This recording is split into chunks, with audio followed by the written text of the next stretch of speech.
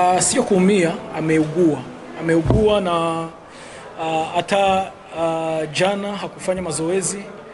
Amepelekwa uh, hospitalini asubuhi jana. Uh, siku yote akufanya kufanya mazoezi. Leo njo asubuhi akafanya mazoezi, tunampima tuangalie, na yeye akasema kama uh, anaweza akajitahidi.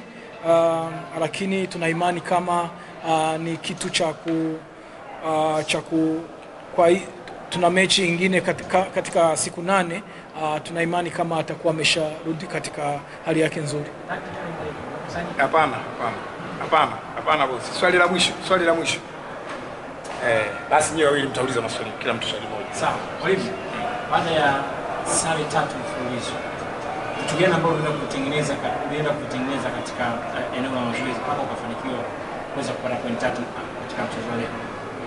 Uh, kitu kikubwa um, unajua hizi uh, timu za, za Yanga zina, zina, zina pressure kubwa, na pale ambapo unacheza ukishaanza kuconcede goli pressure inapanda, unatumia nguvu mingi kwa kusema usawazishi Uh, washabiki na yeo kuna wenye vyenye wanataka. Sasa, unakutana maamuzi yetu anakuja ana uh, tunafanya maamuzi kwa haraka lakini nikiamini uh, timu yangu tokea uh, mzunguko wa kwanza, kitu chenye tuna imani na kitu chenye kimetufikisha penye tumefika ni kucheza kitimu, kutokuruhusu magoli um, kiurahisi rahisi, na waza hicho ndio kitu chenye kikubwa chenye tu, hatukupata mwa hizi uh, siku uh, za nyuma. Uh, kurudia katika tumerudi Uh, katika basic basic defending basic block com, compact block vitu uh, vyenye uh, basic vyenye vimefanya sisi tufike penye tuko leo. Amalizia usi bosi. Kutokea kwenye mchezo uliopita dhidi ya Kagera Sugar ilianza na cha lakini bahati mbaya akasidi magoli matatu. Leo kaanza mashikano, labda kuna kitu umekiona kwa shikano kwa kwa Matacha na kumalizia niona timu inacheza kwa kukosa balance, kwa maana ulikuwa umeanza na left shooter mmoja kwa maana ya Mustafa peke yake kwenye high block ilikuwa na balance, lakini baada ya kumuingiza Faridi timu ikachange ikaanza kuonekana na balance kwenye high block. Huoni kama Faridi ndio mtu ambaye anaweza kusaidia kubalance timu kwenye high block?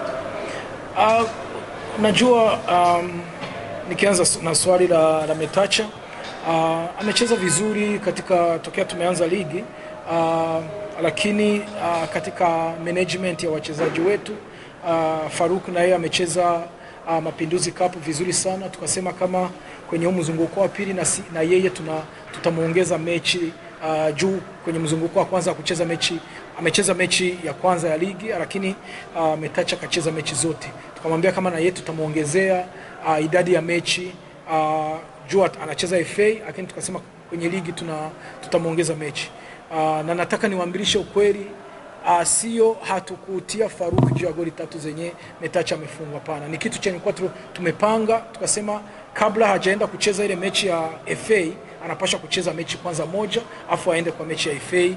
Uh, ana, ana confidence ana kitu cha pili uh, kuhusu, kuhusu Farid na uh, left foot, siwazi kama uh, kutia left foot ndio kinatupatia balance. Uh, kipindi cha kwanza mi naona kama tulikuwa na balance nzuri. Uh, uh, especially wakati wa kuziwia. Uh, hatukuconcede tumeconcede uh, nikizana opportunity moya wamepiga shuti uh, nana kai akairudisha uh, Faruk uh, na ilitokea kwenye, kwenye free kick. Uh, kipindi cha pili tulikuwa tuna, tunaona kama kwa kusema farid aingie tulikuwa tunaona kama Mtibwa wanakaa sana nyuma. Sasa tukataka mtu mwenye tutatia pale pembeni ya striker mwenye atatusaidia kuvuta defender umoja juu tupate space ya kucheza na watu watu wako na spidi uh, kwa mbele.